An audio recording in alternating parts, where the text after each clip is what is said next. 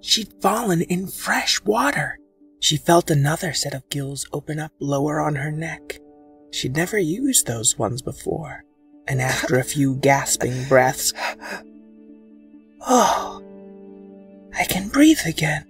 She poked her head above the surface of this murky swamp water and saw that whatever storm had swept her up was affecting the land people too. She saw a fluffy black and white cat running around shouting out orders as its fluffy fur got wetter and Get wetter. these people out of here. If this storm doesn't stop, this whole city's gonna be underwater, said Jojo FluffyKat, also known as JF Cat. You there, little girl. The president was talking to her. What are you doing swimming around in a storm like this? It's dangerous. Not for me. I'm a mermaid. Well, if you're not in danger, then you're part of the rescue mission. What? No, I just ran away from home to find a beautiful treasure and become a legend. Listen, Mer lady. Meriah. Merever. Mert important. I'm not important. This is an emergency. Which means we all gotta work together to stay safe. Now are you gonna help me save people?